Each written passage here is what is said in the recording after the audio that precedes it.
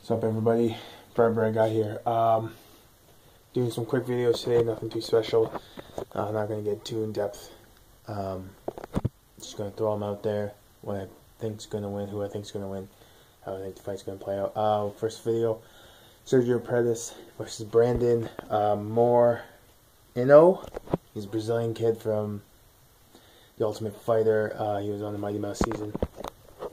Both the guys are very tough. Um, Sergio, he's a young kid. He's only 23 years of age. He um, is obviously the little brother of Anthony Pettis. Trains at Duke Roufus. Duke, Duke, Duke Roufus. Um, I think in this fight, uh, I think I got Brandon. He's Brazil, he's better at uh, Brazilian Jiu Jitsu. He's 3 0 in the UFC. Two of the wins have been submission.